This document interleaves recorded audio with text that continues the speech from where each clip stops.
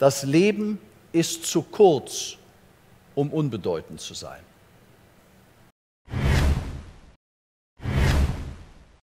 Ich habe mich mit meinem Coach unterhalten und er hat mich dann gefragt, als ich ihn gefunden hatte. Und er fragt mich dann, sagen Sie mal, was wollen Sie eigentlich von mir? Habe ich gesagt, naja, ich würde gern mehr verdienen. Mehr verdienen, sagt er. Mehr ist nicht konkret, mehr ist gar nichts. Meine lieben Freunde, das ist ganz wichtig. Sagt nie, dass ihr mehr wollt. Mehr ist nichts, was das Versandhaus des Universums euch schicken kann. Das muss eine genaue Angabe sein, eine Zahl. Sonst kann die, das Gesetz der Anziehung nicht funktionieren. Also sagt mein Coach, wie viel wollen Sie denn verdienen? Wie viel werden Sie verdienen? Ich habe so ein bisschen nachgedacht, wusste ich nicht. Und dann hat er mir die Frage gestellt, die mein Leben verändert hat. Aber Achtung, das war kein einfacher Weg, was das bewirkt hat. Er hat mir eine Frage gestellt, die mein Leben verändert hat. Und vielleicht möchtet ihr diese Frage auch hören und euch selber stellen. Und diese Frage war, Herr Schäfer, wie viel werden Sie, nicht wollen, nicht möchten, werden Sie in drei Jahren brutto monatlich verdienen? Also habe ich gedacht, naja, jetzt musst du eine hohe Zahl sagen.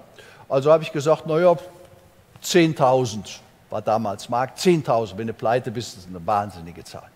Hat er sehr kurz zu mir gesagt, da ist die Tür. Da ist die Tür. Er hat mir auch erklärt, warum. Menschen mit erbärmlich kleinen Zielen würde er nicht coachen. Und ich bin noch einen Moment stehen geblieben. Dann sagt er, naja, ich gebe Ihnen noch eine Chance. Wie viel möchten Sie in drei Jahren, wie viel werden Sie in drei Jahren brutto monatlich verdienen? Das habe ich gewusst, jetzt muss ich wirklich eine richtige Zahl auspacken. Also habe ich gesagt, 43.000. Ich weiß nicht, hat das von irgendjemandem gehört, der verdiente 43.000, fand ich so super, habe ich gesagt, 43.000. Sagt er, okay, 43.000, das ist eine ungerade Zahl, runden wir es auf auf 50.000. Sagt, ja, runden es doch auf auf 50.000, so schnell kannst du nicht 7.000 mehr verdienen. So, bis dahin war das für mich irgendwie so ein abstrakter Quatsch. Und dann sagt er aber zu mir, und jetzt nehmen Sie bitte einen Stift und notieren Sie, ich, Bodo Schäfer, verpflichte mich, in drei Jahren, und das Datum, das exakte Datum, brutto monatlich 50.000 zu verdienen. So, da hat meine Hand sich irgendwie so verselbstständigt. Ich habe sie versucht einzufangen, aber die wollte nicht schreiben. Ich habe schnell meine Einwände gehabt. Ich habe gesagt, so viel Geld brauche ich nicht. Hat er gesagt, naja, das wissen Sie ja noch gar nicht. Verdienen Sie es erstmal und dann werden wir schon Wege finden, was Sie mit dem Geld machen und wenn Sie es spenden. Und dann kam mein wahrer Einwand. Ich habe dann gesagt, naja, ich glaube, Achtung, so viel Geld ist gar nicht gut für mich.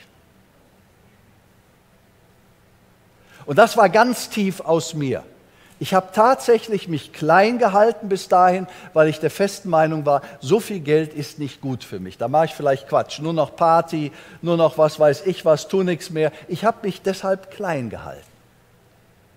Und dann hat er gesagt, Herr Schäfer, es geht nicht darum, dass Sie eine Million haben. Es geht darum, dass Sie Millionär werden. Und hat er einen Satz gesagt, den werde ich nie vergessen.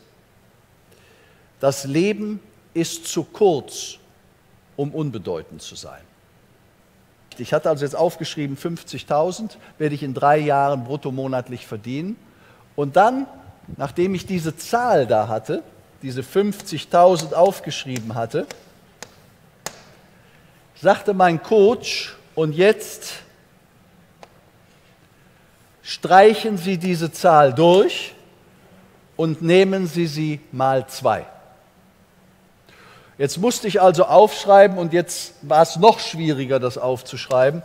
100.000 monatlich. Du musst das nicht machen, du kannst das machen. Für dich.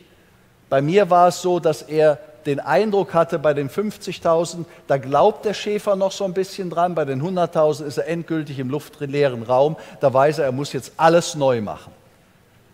Er muss sich komplett neu erfinden. Und das war für mich damals genau das Richtige. Ich durfte nicht versuchen, irgendwas Altes weiterzumachen. Für mich war es richtig zu sagen, okay, 100.000 ist so weit weg, ich muss komplett neu anfangen. Ich muss alles loslassen und komplett neu anfangen. Das habe ich dann gemacht. So, ich möchte dir nicht sagen, dass das jetzt eine leichte Zeit war, die danach kam. Das war irre schwer. Und ich habe es mir überhaupt nicht vorstellen können. Ich habe erst mal gesagt, glaube ich nicht. Sagt er, ist auch nicht schlimm, ob Sie es glauben. Hauptsache, Sie haben ein Ziel. Hauptsache, wir haben ein Ziel, hat er gesagt. Und ich hatte nicht den Eindruck, dass wir ein Ziel hatten. Ich fand, das war mir so ein bisschen aufgezwungen, aber ich hätte es ja nicht machen müssen. Aber es war für mich sehr, sehr schwer. Dann habe ich gesagt, wir haben nicht ein Ziel, wir haben ein Problem. Ich glaube es. Er sagte, Sie brauchen es nicht glauben. Und das möchte ich dir immer wieder sagen. Du brauchst es nicht glauben.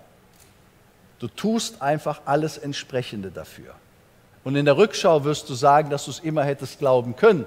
Aber das weißt du jetzt noch nicht. Und ich habe es damals nicht geglaubt. Und die nächsten zweieinhalb Jahre waren relativ schwer, zumindest am Anfang. Und dann aber nach zweieinhalb Jahren hatte ich dieses Geld verdient. Es hatte natürlich was mit mir gemacht. Ich war ein ganz anderer Mensch geworden.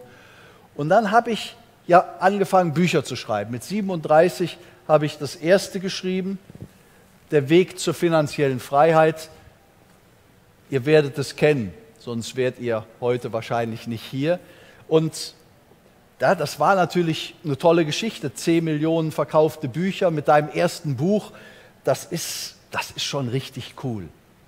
Aber wisst ihr, das war keine Erfolgsgeschichte von Anfang an. War es nicht.